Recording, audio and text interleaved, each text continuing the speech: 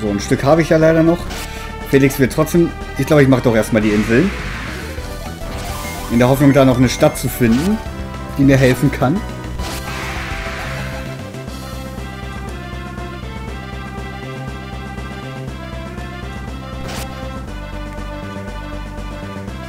Wie sieht's denn da oben aus? Ja, da, da, da ist das eine Stadt? Eine Hütte. Ich kann trotzdem mal vorbeischauen. Mache ich einmal direkt. Na, Felix, hältst du noch ein bisschen durch? Scheiße, jetzt habe ich nicht mal geheilt. Jetzt fahren wir nach Norden und werden von Seevögeln überrascht.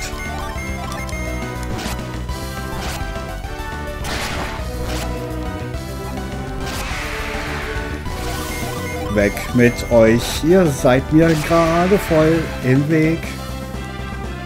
Jetzt geht's zur nächsten Insel. Da komm ich hin. Und was finde ich hier? Eiland im Meer der Zeit. Ja, klingt auch einladend, ne? Früher konnte man im Ozean tauchen und alle möglichen Schätze in den Riffen finden. Ich habe mir gerne vorgestellt, dass diese Schätze ein Geschenk der Tiefe seien. Ein Geschenk für mich. Ah. Ist doch auch schön. Aber ich will erstmal gucken, ob ich hier eine Möglichkeit habe zu übernachten. Bitte. Die Temperatur des Ozeans hat sich erhöht.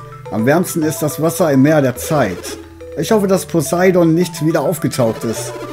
Einst war er ein König, aber heute ist er nur noch ein schreckliches Monster. Kann ich hier schlafen? Scheinbar nicht. Ach man. Gut, ihr seid äh, leider nicht die Rettung. Aber da drüben ist noch eine Schildkröte. Hallo Schildi.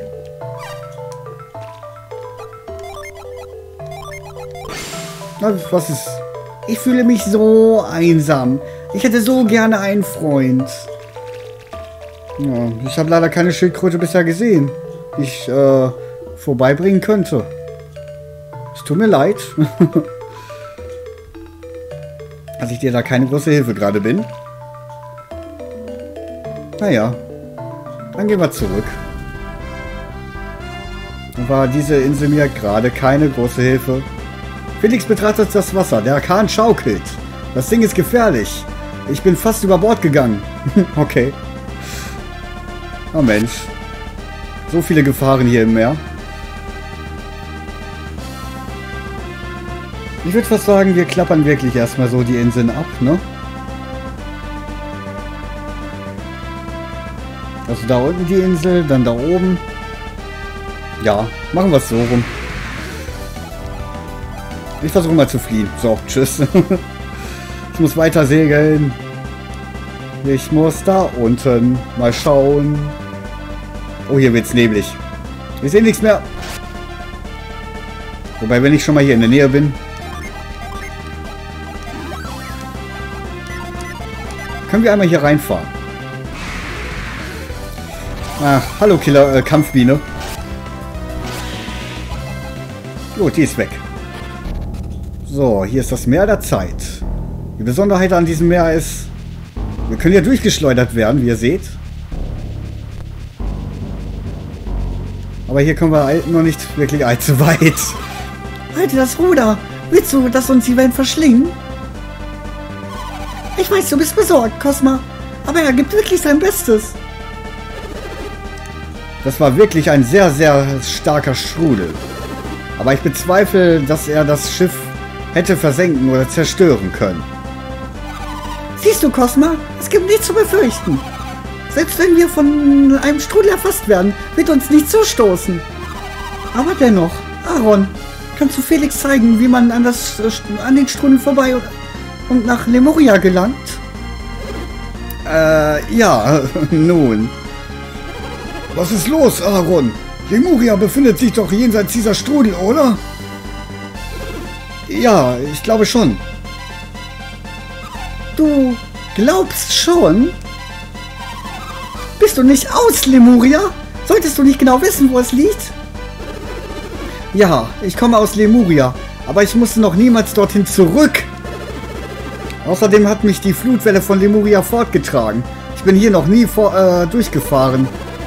Oh, ich verstehe. Dann weißt du also nicht, in welcher Richtung sich Lemuria befindet, oder? Dummes Gewäsch. Ich muss mich nur kurz orientieren. Hm, das klingt nicht gut. Wenn Lemuria wirklich jenseits dieser Strömung liegt, müssen wir einen Weg hindurch finden. Und bis wir das geschafft haben, bleibt uns Lemuria verschlossen. Ja. Das heißt, das können wir uns erstmal sparen. Gut. Dann segeln wir erstmal weiter. Ja. Okay, Felix. Ich kümmere mich bald um dich. Keine Sorge. Vielleicht habe ich hier ja ein bisschen mehr Glück. Hier ist nämlich auch eine Hütte. Nord... Oder, ja, Nord-Osenia Island. Hier hat sich auch jemand niedergelassen. Hallöchen. Das Meer der Zeit. Eine massive Nebelbank liegt über ihm. Es wird zu Recht von allen Seeleuten gefürchtet. Ich weiß nicht, ob ich dieses Geheimnis jemals ergründen werde. Aber ich bin mir sicher, dass es meinem Sohn eines Tages gelingen wird. Ja, dann hoffen wir es mal, ne? Ich würde zu gerne wissen, was sich auf der anderen Seite des Meeres der Nebel befindet. Bis heute hat es noch niemand durchquert. Aber eines Tages werde ich es schaffen. Ihr seid ja alle sehr zuversichtlich, ne? So, du hast jetzt bestimmt ein nettes, bequemes Bett, oder? Wenn ihr das Meer der Nebel erreicht, folgt der Strömung von den roten Felsen aus. Auf diese Weise bleibt euer Schiff heil. Mehr weiß ich allerdings auch nicht. Und vielleicht ist diese Information auch gar nicht richtig. Na toll, danke für nichts. Viel Kummer und Trauer zieht sich durch die, unseren Stammbaum. Drei Generationen von Söhnen haben es sich geschworen, das Meer des Nebels zu durchqueren. Immerhin mutig, ne? Die Seeleute berichten von starken Strömungen und Strudel im Meer der Zeit, die ein Schiff in Stücke reißen können. Ja, das wollen wir natürlich nicht. Auch wenn unser Schiff robust ist. Komme ich irgendwie darüber? Also von hier sieht es gerade nicht so aus. Okay, wie sieht's hier aus? Hier komme ich nur aus dem Dorf raus. Ja, super. Ich kann mal versuchen, genau, von der Seite aus reinzugehen. Ne, dann komme ich trotzdem hier durch diesen Eingang. Schade. Spiel austricksen funktioniert also nicht.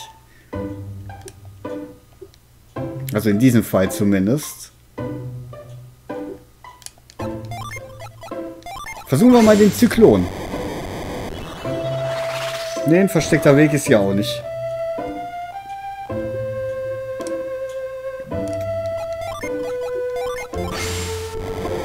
Hätte ja möglich sein können.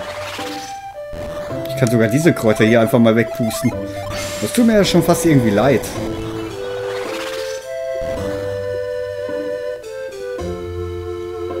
Naja, gut. Dann kann ich dieses Dörflein auch erstmal hier in Ruhe lassen. Und weiter segeln. So, nämlich haben wir noch eine Insel hier im Norden. Und ja. Da drüben. Gut, dann machen wir erstmal da um diese eine Insel noch äh, unsicher und dann geht's nach Japan. Zumindest, äh, wenn man sich die Karte anguckt, das hier sieht sehr stark nach Japan aus. ich meine auch, dass es so ist. Na oh, scheiße, ich lasse mich nicht gehen. Bitte, ich, ich gehe sonst tot. Ich habe nämlich nicht mehr viele PP.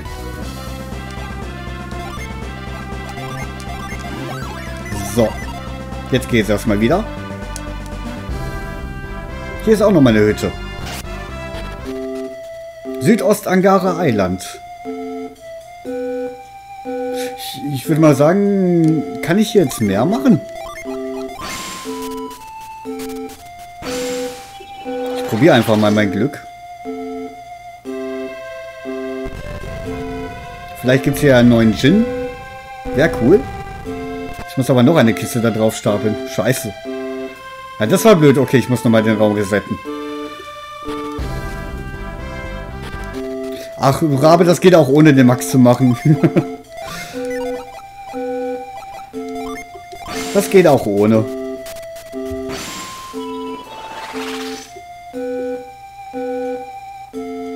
Gut, dann schieben wir erstmal diese Kiste hier runter.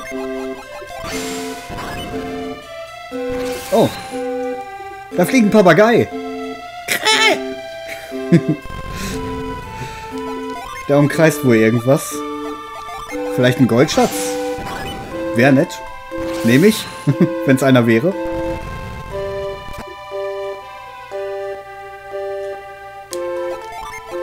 Nachdem ich hier diese Schiebetour absolviert habe.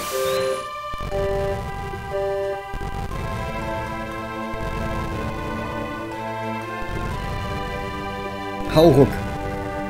Hau ruck. Hau ruck. Gleich hast du es geschafft, Felix. Und dann kann die andere Kiste jetzt da drauf.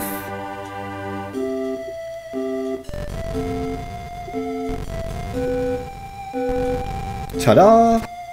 Passt.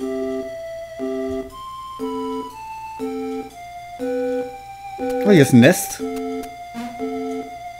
Hey. Jeep, Jeep. Oh, der Stein, den ihr da habt. Er ist göttlich, einfach göttlich.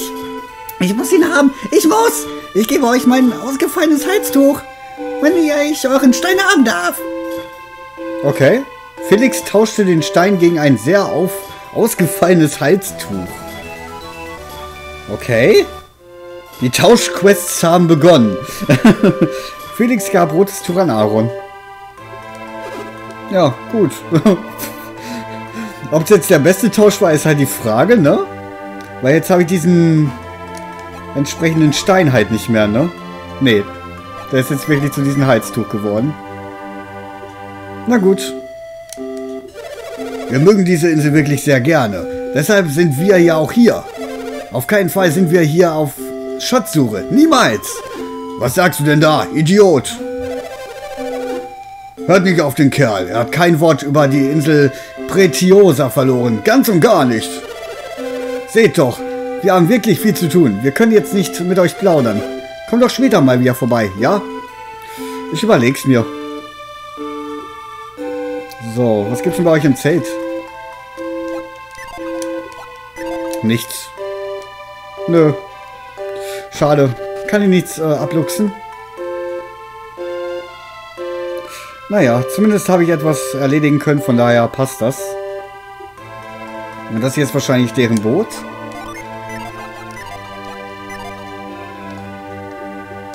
Ist aber auch nichts drauf. Doch, eine Glücksmedaille. Okay.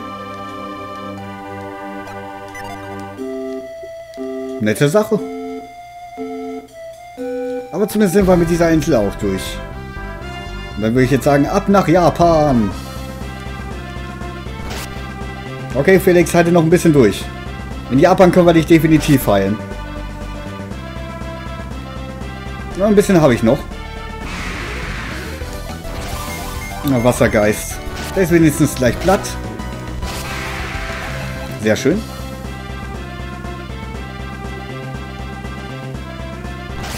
Na.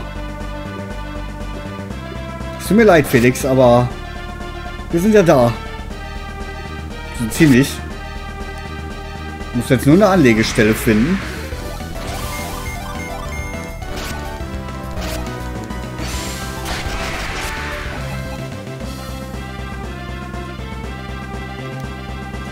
Da drüben, da oben ist eine Anlegestelle. Und da unten... Moment. Seht ihr auch schon, da ist der nächste Felsen. Den können wir auch bald aufsuchen. Aber jetzt erstmal in Izumo Rast machen. Und das meine ich wirklich mit Rast machen. Deswegen einmal kurz pennen.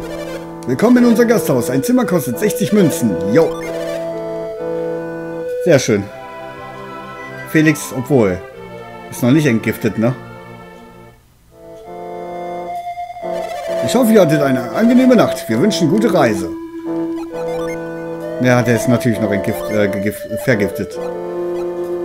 Ich habe aber noch Gegengift. Warum sehe ich das jetzt erst? Okay. Gut, dann würde ich aber sagen, bevor wir uns hier in Izumo umsehen, werde ich einmal kurz hier eine Pause anlegen. Und dann machen wir hier gleich Japan ein bisschen unsicher. Deswegen an dieser Stelle bis gleich.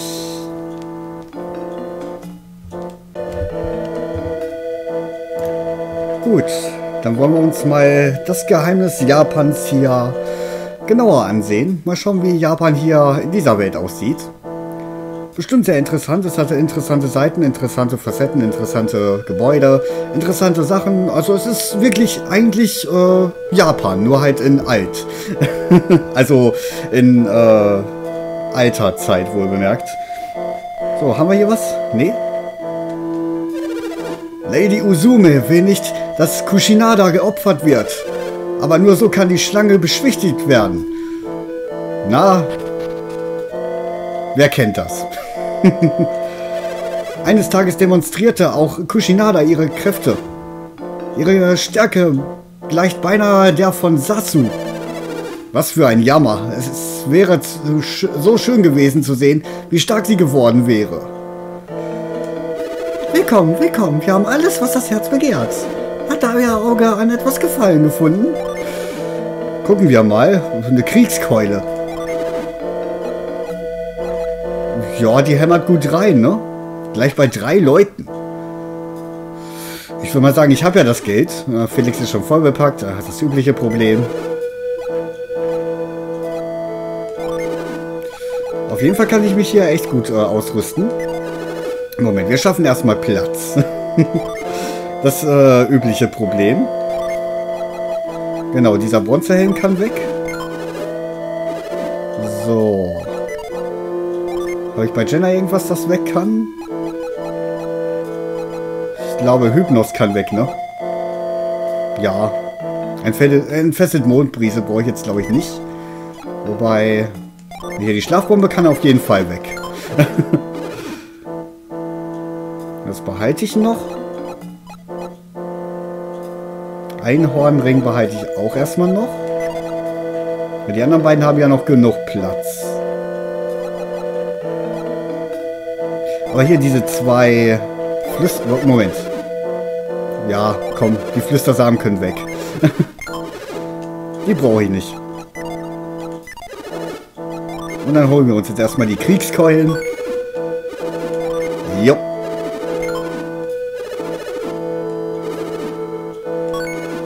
Cosma kriegt auch eine Kriegskeule. Finde zwar schon ein bisschen gewöhnungsbedürftig, dass Cosma einfach mal eine Kriegskeule bekommt.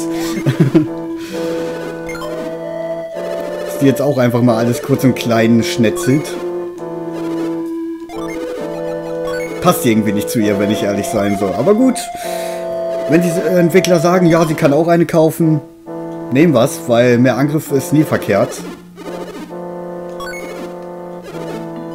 So, Silberweste. Kann ich jeden geben? Aber mein Geld neigt sich da auch schon langsam dem Ende zu. Wenn ich mir das angucke.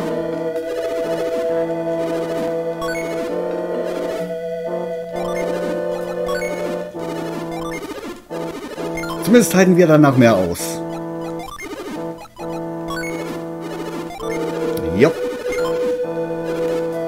Und dann habe ich noch den Platinreif. Okay, bei Cosma sinkt es den Angriff. Nee das, ist, nee, das ist es nicht wert. Dann kriegt's nur Jenna.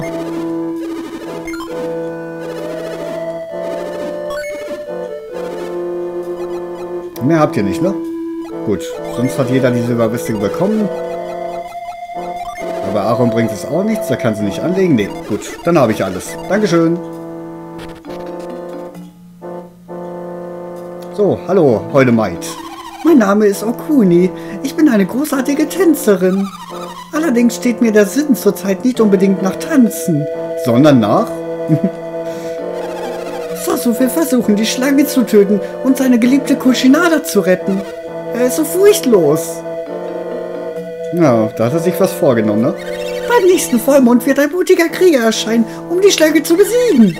Aber das ist nur eine Legende. Niemand glaubt daran. Niemand. Ich habe schon einige Spiele gesehen, wo es möglich ist. Beziehungsweise eins ganz besonders. Die Töchter der Familie jenes Hauses verlangten, dass wir das Opfer durch das Los wählen. Na je. Das nächste Opfer durch das Los zu wählen scheint eine sehr harte Methode zu sein. Ich bin viel zu alt, um den Ideen dieser modernen Zeit folgen zu können. Sie scheinen mir viel zu extrem zu sein. Naja, durch ein Los ist schon ein bisschen fies. Aber, ja. Viel machen kann man dagegen halt auch nicht, ne? Hm, nur ein paar Gegengifte. Ich nehme sie mal mit, weil man weiß ja nie, wann wir mal wieder vergiftet werden. Das Drachenmal scheint die Schlange im Zaun zu halten. Aber wie lange noch? Wir möchten wissen, warum der Wächter aus der Legende wieder erwacht ist. Vor einiger Zeit ist auf dem Festland ein Vulkan ausgebrochen. Wir konnten im Westen den Schein des Feuers am Himmel sehen. Kurz darauf ist der große Drache erwacht. Das hat die ganze Insel in Panik versetzt. Ich kann meinen Dolch nicht finden. Ich hatte ihn doch eben noch. Wo habe ich ihn? Moment, hat vielleicht Sasu? Die Schlange kann das Licht der Sonne nicht ertragen. Daher zeigt sie sich nur nach einem Dunkelheit im Dorf. Genauso wie es die Legende berichtet. Ich bin alt und habe die Nase von, voll von dieser Welt. Warum kann nicht ich geopfert werden? Ja, weil du wahrscheinlich nicht gezogen wurdest. Schmeiß einfach 5000 Lose mit deinem Namen drauf, dann wirst du schon ausgewählt. Wenn dir das so wichtig ist. Ich bin so erleichtert, weil ich nicht das diesjährige Opfer bin. Aber was geschieht nächstes Jahr? Okuni, Kushinada und Lady Uzuma haben alle teilgenommen, um mit uns das nächste Opfer zu bestimmen. Ich kann nicht glauben, dass Kushinada gezogen wurde. Ist das Zufall? Schicksal? Wir werden das wohl niemals erfahren. Wäre Lady Uzuma das nächste Opfer gewesen, wenn ihr Name auf den Los gestanden hätte? Ja, Fragen über Fragen, ne? Aber hier diese Taiko-Trommel will ich haben. Ich mag diese Trommeln.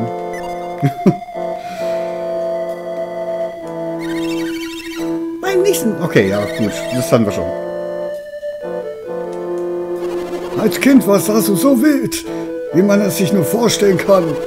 Es gab viel Zwietracht zwischen ihm und seiner älteren Schwester Lady Ozume. Erst Kushinada konnte seine Wildheit bändigen. Natürlich will niemand, dass sie geopfert wird.